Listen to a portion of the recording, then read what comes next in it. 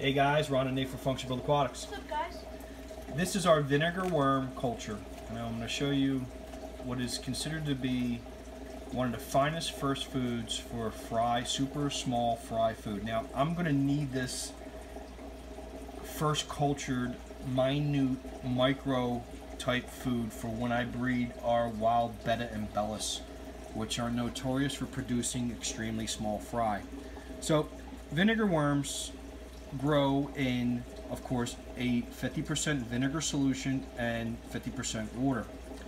And what you typically will do is add either apple cider, uh, apple cider vinegar, or in my case, I tried white vinegar and 50% water. And you typically would put a small piece of apple inside the main culture jar. This jar right here is going to be my harvest jar. I will tonight put a small piece of apple down the bottom to keep these guys uh, doing well. But what I mean by culture jar is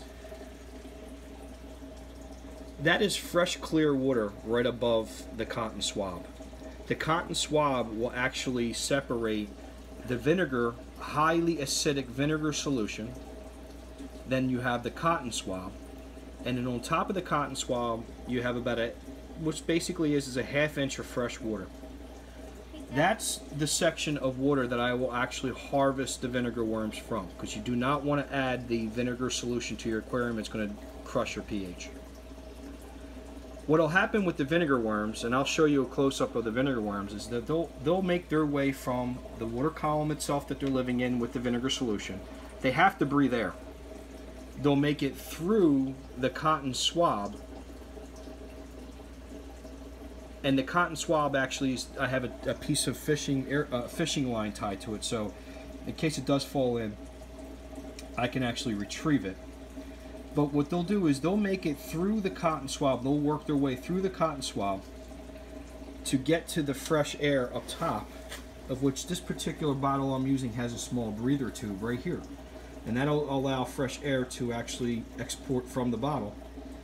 And in that freshwater solution that's where you will harvest the vinegar worms to feed your fish. And that's just basically uh, RO water that I mix with some uh, with some regular tap water. Now let me show you a close-up of what vinegar worms look like.